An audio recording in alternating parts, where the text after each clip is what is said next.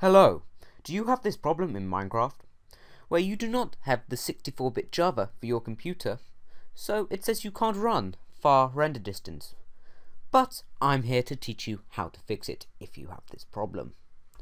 First of all, you need to go to the link in the description to get this. This is a 64-bit Java.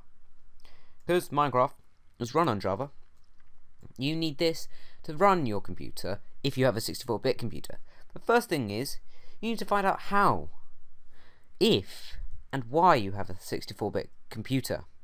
Now, to find out how, you go to the Start menu if you're on Windows 7, and uh, right-click, and go to Properties. In the Properties, you'll come to this. Under System, it will give you all your processor, your RAM, and your system type. Your system type is what you need. If it says 64-bit operating system, that is what you need. I'm on Windows 8, but it doesn't make a difference. But on Windows 8, you do not have this start button. I do, because I've done something to Windows 8. Instead, you have to come over to this thing here, so you should just hold your mouse the end of the thing, or the side of the screen, and this thing should pop up. Then you should go to Settings, and then you should go to Control Panel.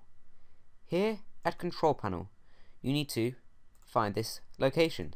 So, it's System Security. Click on System Security. And then, it's System. So, you need to find System. So where will that be? That will be here.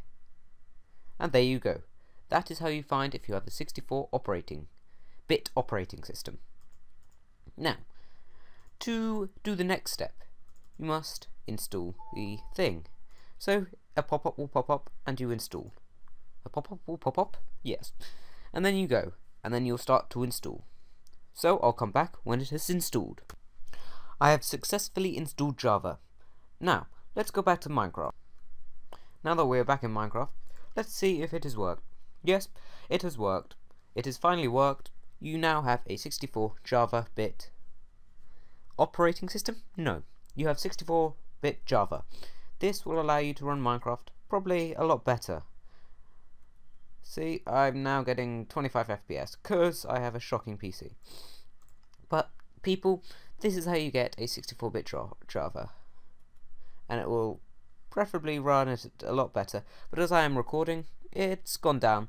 When I'm not recording, I'll probably get about 50, 60 FPS or frames per second on far distance.